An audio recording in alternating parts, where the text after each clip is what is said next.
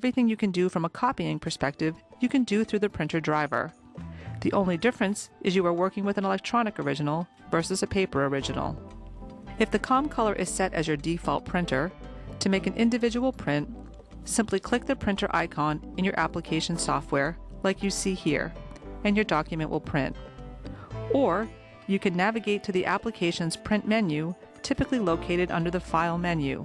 From here, you can select a print quantity or enter into the ComColors print properties to make additional print settings and adjustments. We will look at some of the basic settings and adjustments for the ComColors built-in GDI controller next. Notice the tabs along the top of the dialog box. These tabs segment the driver by function for basic functions, layout functions, image setting functions, finishing functions, and advanced functions.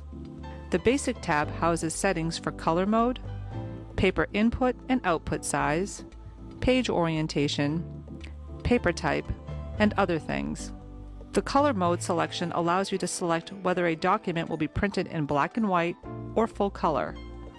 We recommend setting your printer driver default to auto, allowing the device to automatically produce pages as black and white or full color based on whether or not it contains color. You can also choose to output the document in monocolor, which will print the document in either all cyan or all magenta. The selection for duplex allows you to take a multi-page file and print them on both sides of the document. Choosing long edge orientates the prints so they read left to right like a book. Choosing short edge orientates the prints to flip top to bottom, like a flip chart. Checking mixed size allows you to print files that have a combination of letter size, legal size, or ledger size documents together as one combined document. You must have a unit with the front feed trays on it in order for this feature to work. The original size and paper size tell the machine the size of the digital original and the desired output size for the print.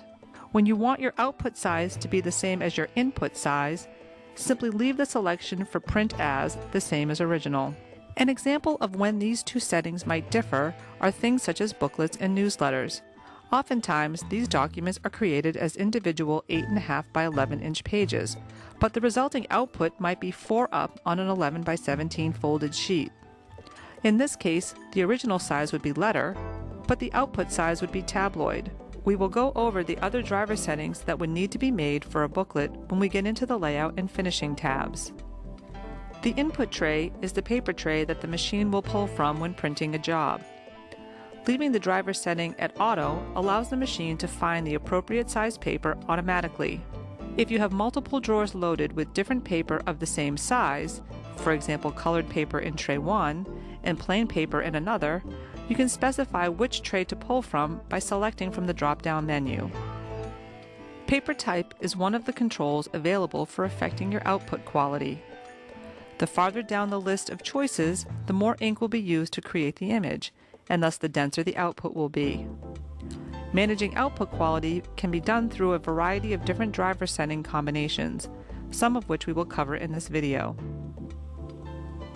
Next, we will look at the Layout tab.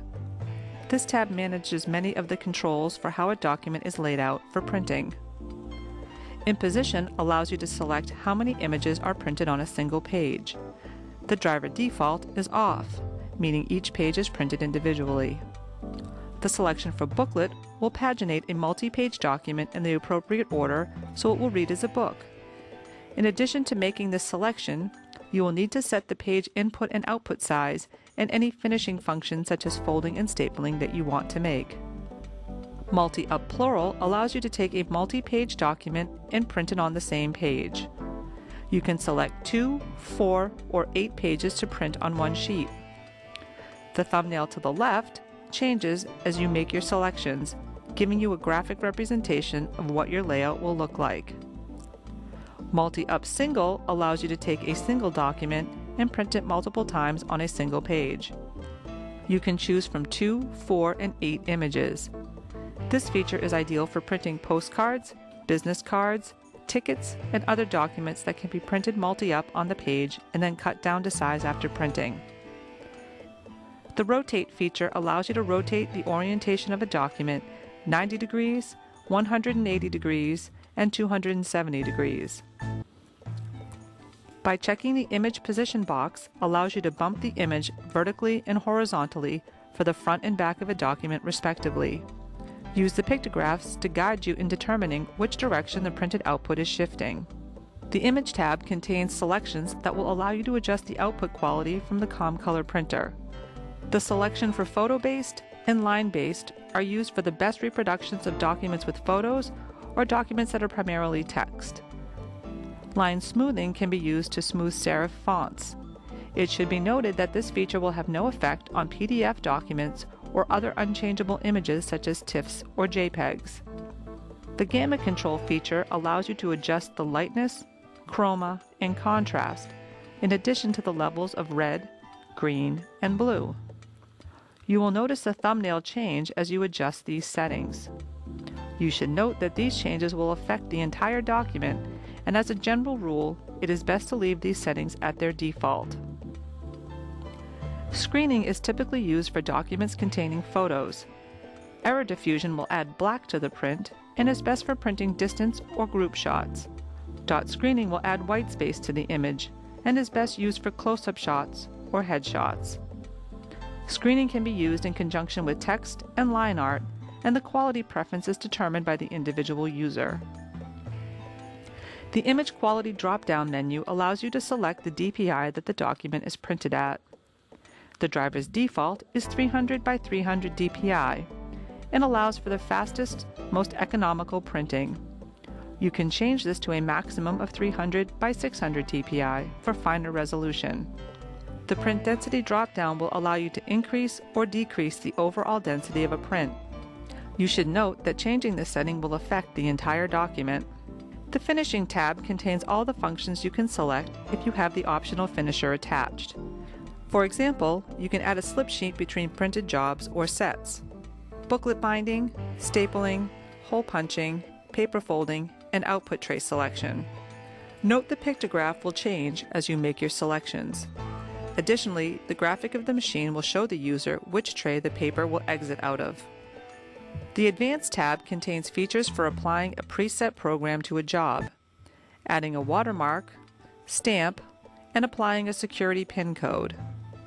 Here you can enter in the number of copies to print. The print and pause feature allows a user to proof the first print before commencing with the rest of the job. When checked, it will send one page or set. The user must then manually resume the printing by pressing the green print button on the printer's control panel. The program feature allows the user to pre-configure jobs for number of sets and copies per set. Additionally, you can select whether the program has separator sheets used. This feature is ideal in environments where the same materials are being produced from multiple different groups, where the group sizes vary. Classroom and training materials are examples of this type of application.